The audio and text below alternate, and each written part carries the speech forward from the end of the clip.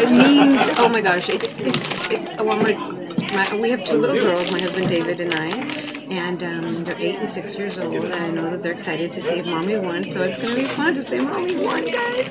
So all that hard work pays off, and that's the lesson I want to teach them.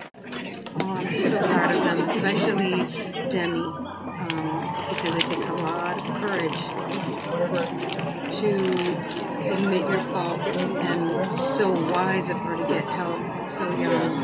There are people that never get help. It's wonderful. It's wonderful. We just took a picture together and it's like, wow, I was her mom in Demi's first film. And uh, it's, it's, it's surreal. It's like a dream. Oh, I love some, some of these songs are so fun and catchy. And your daughters, I'm sure, listen to lot. Oh yeah, my daughter and I go around singing. "I love you like song, baby." We love that one. I love naturally. I love naturally. Um, but my current favorite is really like a. I've got some irons in the and I want to um, make sure that what I do next is something just as good and just as well written. Um, it's funny. It's almost like I've been a little spoiled working on such a terrific show.